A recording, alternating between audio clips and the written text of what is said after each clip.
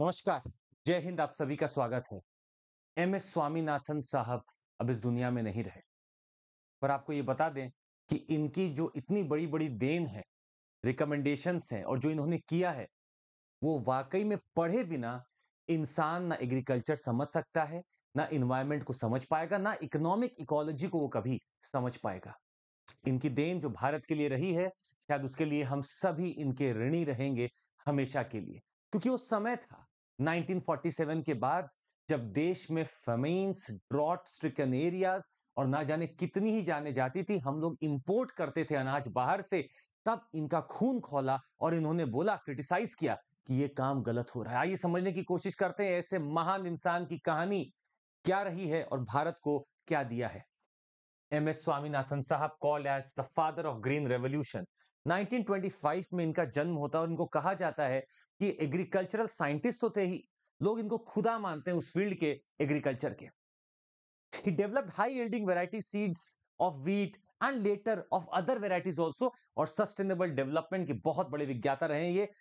इन्होंने green revolution का नाम धीरे धीरे बदलकर एवर ग्रीन रेवोल्यूशन कर दिया। ये इनकी शख्सियत थी।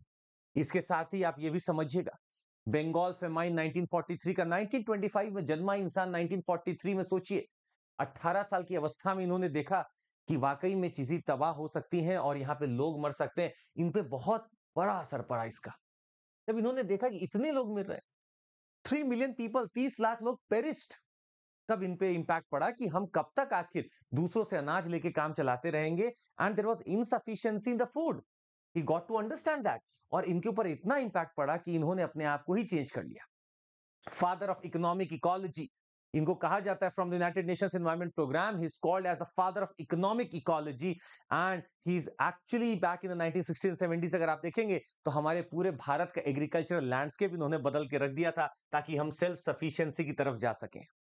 इनके अगर आप कहानी की बात करें या इनके कामों की बात करें, एक से एक है।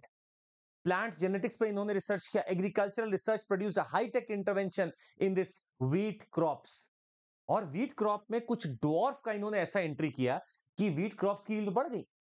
A wheat plant by crossbreeding seeds from Mexico with the local species that yielded plentiful gains compared to the traditional methods. ये क्रॉस ब्रीडिंग का टेक्नोलॉजी उस समय की बात चल रही 1960s एंड सो की बात चल रही है, जब इन्होंने करना चालू किया।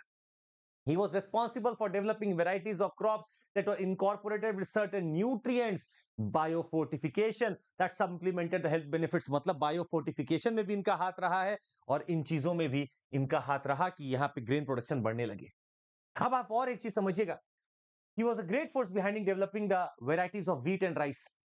Green revolution जब आप पढ़ेंगे तो आप देखेंगे व्हीट और राइस का ही सबसे ज़्यादा उत्पादन बढ़ा उस समय और यही इसके पीछे थे Under Swaminathan's leadership, efforts were launched at the International Rice Research Center to cultivate rice with some other technology called as C4 carbon intensification or fixation capability.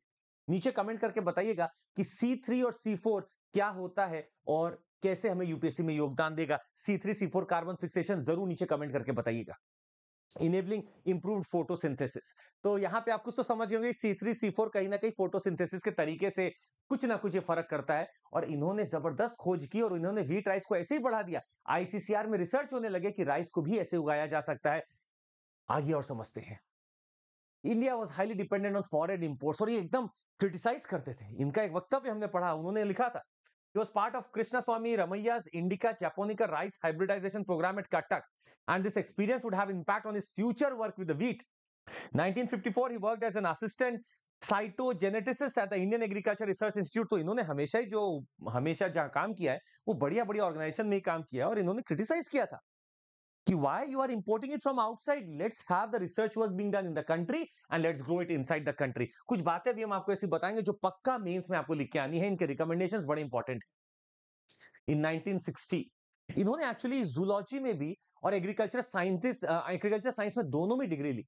पर इन्होंने एग्रीकल्चर साइंस को प्रिफर किया because he was so much impacted by this 18 sorry 1943 Bengal famine और आपको ये बता दें Norman बर्लॉक का नाम जो आप नॉर्मली पढ़ते हैं known for high yielding variety seeds and changing agriculture landscape he was the person standing behind Norman Borlaug. He invited आप आइए और चीज़ों को समझने की कोशिश करिए and push farmers across the country to use the high yielding variety seeds Swaminathan organise hundreds of exhibition in the northern portion of the country in 1965 ताकि बता सके कि जो क्रॉस हाइब्रिडाइजेशन है, जेनेटिकली इंजीनियरिंग क्रॉप इससे कोई खतरा नहीं है।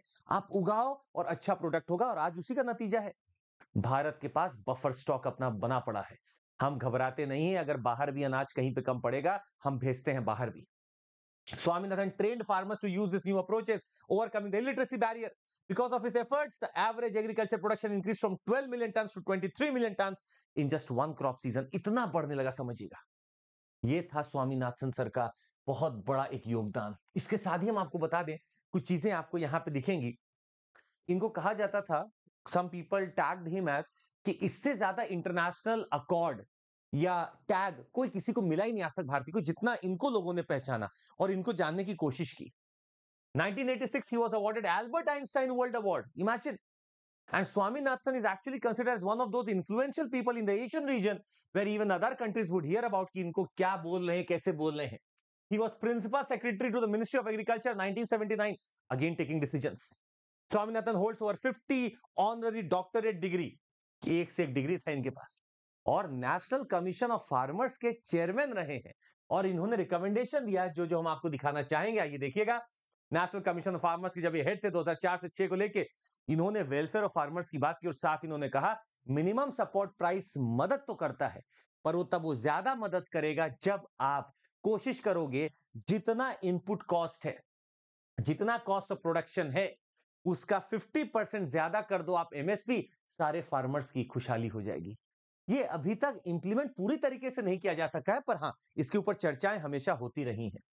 I must also say few things about him he gave certain recommendation please understand. the first recommendation was about land reform he said that there must be distribution of ceiling surplus and the wastelands to those people who may not be able to take up the land जिनके पास नहीं हो पा रहा उनको आप distribute करो recommended access to common property resources one main cause was establishing a national land use advisory service उन्होंने बोला लैंड यूज एडवाइजरी सर्विस बनाओ इसका पर्पस क्या होगा to connect land usage decisions with ecological and other meteorological decisions बोले land use advisory service बनाओ, जो आज आप देखते हैं ना, चौपाल बना है मैसेजेस आते हैं कि अब ये उगाना, वो उगाना, ये सब इनके कहानी से हुआ, इनके देन से हुआ। तो लैंड रिफॉर्म इनका पहला रिकमेंडेशन था। दूसरा रिकमेंडेशन इसके बारे में आपको बताएँ। He talked about setting up reforms to provide farmers with sustain and equitable access to irrigation boost water supply by rain water harvesting water level recharging and mandatory aquifers ये सब इनका देन था। और इन्हीं के कहने के बाद से आप देखिएगा ग्रीन रेवोल्यूशन कोई एक इवेंट नहीं हो पैकेज है पूरा उसमें सिर्फ़ high yielding variety seeds use नहीं हो रही है it is a package of irrigation input पैसा लैंड सब कुछ डालना पड़ रहा है एम एस स्वामीनाथन साहब उस समय भी इरिगेशन के लिए बोलते थे तीसरा अगर आपको दिखाएँ, objective of achieving higher productivity. Every year he has recommended for an higher productivity. He said that substantial increase in public investment in agriculture related infrastructure, particularly in irrigation, drainage, land development, water conservation, research, etc. is needed to increase the crop yield. He wanted public participation too much into it. आज इसके साथ अगर हम add करें तो हमें private participation भी चाहिए क्योंकि आर एन डी पब्लिक में कम है प्राइवेट में फिर भी ज़्यादा होता है He also recommended a formal credit system. He said that यहाँ पे कहीं ना कहीं आप क्रेडिट सिस्टम को इतना फॉर्मल बनाओ कि लोगों तक पहुँच सके। They can take the formal credit and they can be saved from such people who are the money lenders who would charge exorbitant rates और परेशान करेंगे, आप ऐसा बनाओ integrated credit cum crop livestock human health insurance package जो आज आपका किसान क्रेडिट कार्ड है, वो यही तो है। स्वामीनाथन साहब ने उस समय किसान क्रेडिट कार्ड की बात कर ली थी, उसके बहुत साल बाद ये ओपिनियन लोगों में आया कि इसको बना लेना चाहिए था। ही इज़ द जेनेटिस और जेनेसिस इन्हीं से होता है, देखिएगा। फ़ूड सिक्योरिटी इन्होंने कहा recommend implementation of universal public distribution system PDS चालू हुआ। किसने बोला? स्वामीनाथन साहब ने। इन्होंने बोला कि भाई आप आइडेंटिफाई करो किसको कितना दिक्कत है, कहाँ पे अनाज चाहिए, आप आइडेंटिफाई करो। He asked about food come fortification. Biofortification he was the one who talked about women's self-help group and the bank linkage program of self-help group. Swaminathan sahab did not only speak of agriculture but farmers but societal changes but economic changes but the avenues. The whole package of development he spoke about. And he's also going to speak about one more thing a very sad state of affairs that is existing the suicide of farmers और इन्होंने साफ़ इसके लिए बोला, prevent करो। आप affordable health insurance at primary health care centre दो national rural health mission बनाओ ताकि सुसाइड हॉटस्पॉट में वहाँ पे मदद मिल सके लोगों को। State level farmer commission representative of farmers. He wanted institutions to come up as representatives having such people who could actually work for the farmers at the ground level and can save them from dying क्योंकि यहाँ पे सबसे बड़ा पड़ता था debt trap दूसरा failure of crops अगर insured है मेरा क्रॉप तो ये नौबत नहीं आएगी। डेट ट्रैप में अगर मैं ना फंसू किसी के तो ये नौबत में नहीं आएगी। इनका ये साफ़ कहना था कि village to be the assessor and not the block social security net that give old age support with health insurance फिर से घूम फिर के बात आती है इंश्योरेंस सोशल सिक्योरिटी की। और इनकी कहानी आपको हम बता दें, ये साइंटिस्ट के साथ साथ सिर्फ़ एग्रीकल्चर साइंटिस्ट नहीं सोशल साइंटिस्ट थे। इन्हीं की देन है कि आज विमेन एम्पावरमेंट की बात आप देख सकते हैं, जब गाँव में आप जाएँगे तो हम कहते हैं कि फेमिनाइजेशन ऑफ़ एग्रीकल्चर हो रहा है, पर ये आज महिलाएँ हैं जो डिसीजंस लेती हैं लैंड के लिए और बढ़िया क्रॉप प्रोडक्शन आज देखने को मिलता है।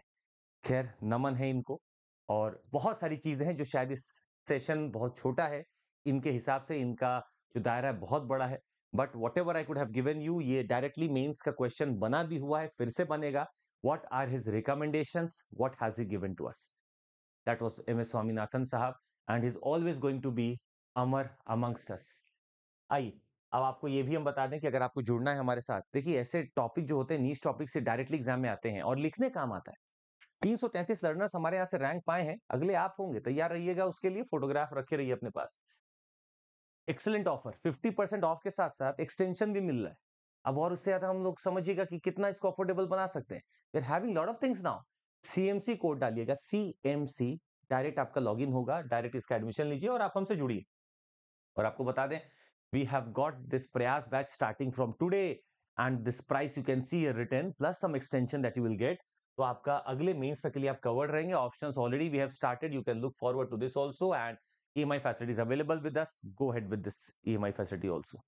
So that would be all from my side. Thank you so much. Take care. Jai hind.